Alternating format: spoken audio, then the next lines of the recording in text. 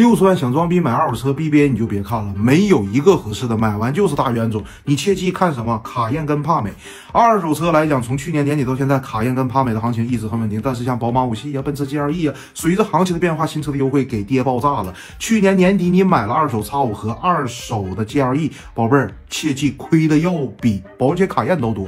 你如果说去年买了奔驰 S 一老款 W 二，甚至大嘴的宝马 G 幺二的七系，还有准新奥迪 A 八，你赔的。也比你去年年底买的帕美要赔的多。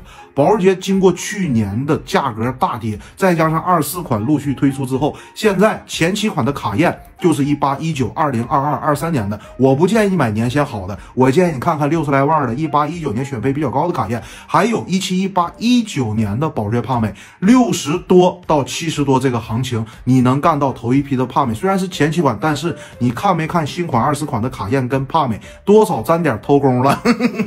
虽然现在保时捷整体一个销量体系跌爆炸了，但是你切记它的产品力依然还在。二手车图的是什么？花小钱装大。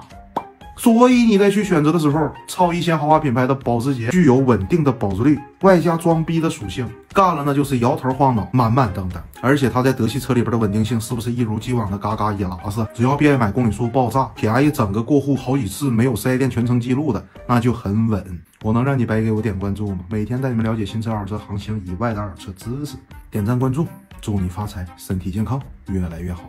没事儿，扒拉扒拉懂车帝，看看车源行情。二零二四年买车别买贵了啊，宝贝儿。